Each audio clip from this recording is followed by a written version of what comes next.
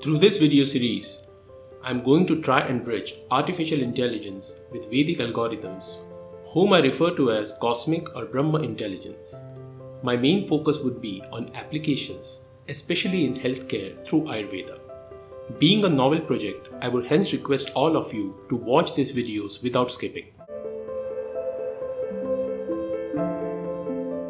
Artificial intelligence is the science of training machine to imitate or reproduce human tasks.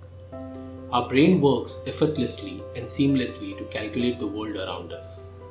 Artificial intelligence is the concept that a machine can do the same, if it can be given the cognitive ability of a human brain to perform functions such as perceiving, learning, reasoning, and solving problems. The term was invented in 1950s when scientists began to explore how computers could solve problems on their own. Most of our smartphones or even the internet uses artificial intelligence. Artificial intelligence works by training the machine to make a better version of itself each day as it learns from its previous tasks and execution same as a human brain. For example, when we first learn to play a piano and each day as we practice we become better at it. So how is a machine made to learn from itself? Basically it is done by implementing a brain in it which works similar to a human brain or mimics it. It's learning from examples as we humans do.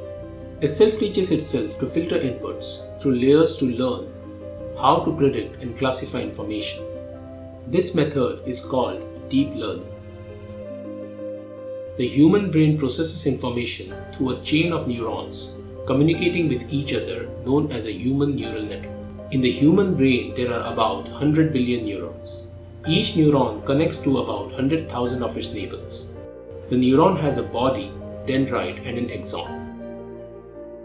The signal from one neuron travels down the axon and transfers to the dendrite of the next neuron. That connection where the signal passes is called a synapse. Deep learning attempts to mimic this activity happening in the layers of neurons in the neocortex of human brain, literally by creating an artificial neural network and at a level that works for individual machines. You get input from observation and you put your input into one layer. That layer creates an output which in turn becomes the input for the next layer and so on. This happens over and over until your final output signal. Think of the input layer as your senses, the things you see, smell and feel. For example, let us take coffee. We identify it mostly by smell, taste, and looks. And each one of these parameters are individual. Means you can identify coffee just by looking at it, smelling it, or tasting it. So let us take the example of smell. Imagine a blind person smells coffee for the first time. The brain inputs it as a signal and stores it as a distinct smell. When he smells it again, the signal is processed if there is a match, the output is delivered as coffee. As this person keeps on drinking coffee, over time this process continues and the brain learns and develops more refinement towards coffee's intricate properties. For example, it slowly develops awareness of not just the coffee as end product, but the beans used, the roast they have, etc. This is how intelligence develops, layered on retention, recall, and application of data corroborated as Dhi, Dhriti and Smriti algorithms of Veda. This algorithmic input-output mechanism is the basis of artificial neural networks. I will be covering this Vedic neural network based on Dhi, Dhriti and Smriti in a separate video. We can ascertain from this example that to create an artificial intelligence, we require a machine or hardware which can process parallel computations much as the brain does data which is retained, recalled and applied through universally progressive algorithms to arrive at all possible conclusions and results.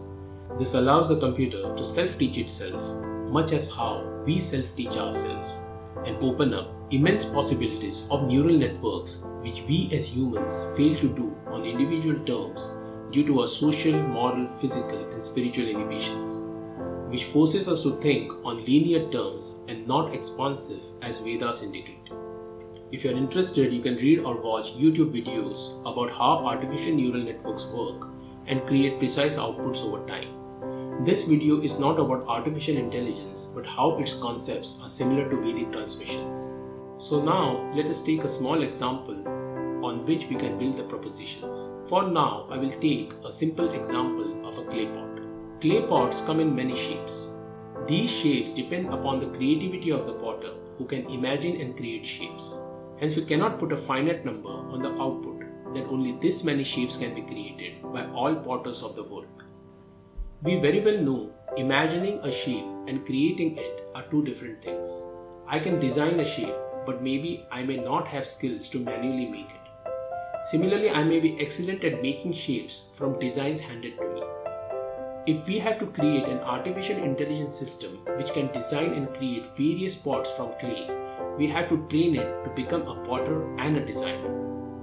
Now, logically, design can be anything on paper, but to shape and create it in real is a skill, and hence, logically, the AI system first needs to learn and master it and then work out designs. For that, we first have to understand how a potter creates a design through clay. His base neural network. Our mind may initially go to the tools and techniques he uses to shape pots, but that's on secondary level. He uses them after knowing precisely what and when to use. So at primordial level, how does he do it? How just by looking or imagining a design, his neural network confirms the reality of that shape? The answer is he understands the inherent properties or atomic reality of clay, which enables him to create any shape from it. So, to make the machine think like a potter, we must create a neural network where we first train the computer to understand the properties of clay, of how it can be shaped in various forms. We can give it some reference shapes as example. By understanding the universal properties of clay, the machine each day will first perfect to create those shapes and then slowly will learn to create different shapes much like a potter. By training the computer to accept the properties of clay as the fundamental reality, it slowly teaches itself about its innate applicative possibilities. Now look at this verse from Chandogya Upanishad. This implies that pot being a mere product of clay does not have a separate identity. It's just the clay and if we know the clay, we can know all things shaped out of it. Don't worry, here I'm not going to give a discourse on metaphysics, but would like to point to the concepts of universal algorithms Ved give us through which we know nature of creation, past, present and future.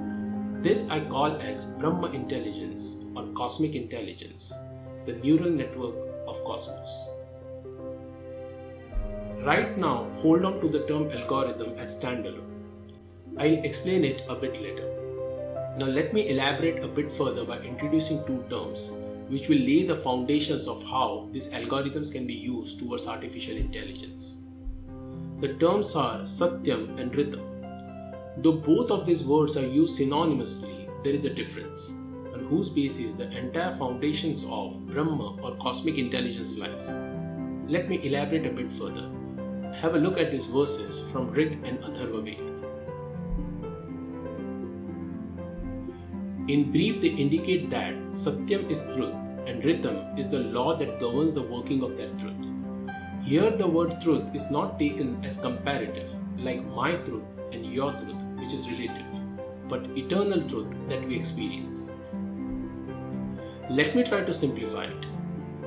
Look at this Vaisheshik Sutra, which translates loosely as objects stay in hand due to their conjunction with the hand when the conjunction is lost, the object falls down due to its own weight. The Vaisheshik Sutra, earliest documented around 500 BC, in brief are explaining us the universal rhythm or law of gravity, much as later attributed to Sir Isaac Newton in the late 16th century with the famous example of apple falling from the tree. In terms of Satyam and Ritam, the apple here is Satyam. Its remaining conjoined to the tree is Satyam its falling down is also Satya because we experience it. Why it falls down is Ritam, the law of gravity. We can decipher that the truth of the apple joined to the tree and its falling down which appears as common phenomenon to many. The laws governing these actions, the rhythm, was self-revealed to Vaisheshik due to the way they program their neural networks based on algorithms of their philosophy called darshan. Darshans are exponential algorithms through which we understand the immense possibilities of cosmic creations. I will try and make separate video about darshan, cosmic and artificial intelligence. Similarly, clay is empirically real or satya, and the pot which is a modification of clay is also empirically real or satya, as we can see and experience both. But the manner in which the clay was shaped to pot is its rhythm, the universal law which when understood can project innate possibilities. So each manifestation in the cosmos we experience as truth or satya themselves reveal their rhythm or the order in which they are created destroyed, or interact with each other. These universal rhythms of all cosmic interconnectedness from micro to macro, zero to infinity, have already been put forth in the Vedas and are there to be found for ones who can observe. Ved, Yoga, Tantra, and Jyotish have all expounded cosmic creations and their algorithmic interconnectedness, the Satyam and Ritam. The importance of rhythm or emphasis on algorithms can be understood from the fact that in the Rig Veda, the term Rita appears as many as 390 times. It has been characterized as the one concept which pervades the whole of Rigvedic thought. I requested you all to hold on to the term algorithm because there was no straight definition then. I can now elaborate by saying that the term algorithm, which I use in this context, refers to an applicative method which is based on collection of universal or cosmic laws to arrive at possibilities and probabilities in an exponential manner from micro to macro. These algorithms are known as Siddhanta. Etymologically, it is a conjoint of two words, Siddha, which means perfection, established, or an undisputable result, and Anta, which means end or nothing more. So, Siddhanta means cosmic algorithms or laws which are perfect, which can never be challenged or refuted, past, present, or future. For example, the Tridosh Siddhanta in Vedas. One must note that Siddhantas are different from theorems, postulates, or hypotheses, which are challenged, refined, refuted, or accepted over time. These are known as Vada, which means this can be discussed. For example, Vivartavad and Parinamvad in relation to Advaita. There are different layers to Siddhanta in conjunction with topic of interest, which I'll explain in future videos. Well, if you're still with me, you can now imagine the immense possibility of an artificial intelligence system that is based on these Siddhantas. A conglomeration of neural networks which each day builds a better version of itself. We may even ask then, can the artificial intelligence developed on these algorithms one day can answer the quintessential paradox of all Vedic tantric, and yogic crux. What was there when there was nothing? Well, that's not the scope of these videos or series as I look to concentrate on application in real life scenarios and not dwell on metaphysics. In the next video, I'll continue this discussion by citing examples from Ayurvedic algorithms and its applications. Those who found this video helpful, do read about basic artificial intelligence and neural networks and try relate to them with certain siddhantas you may find interesting.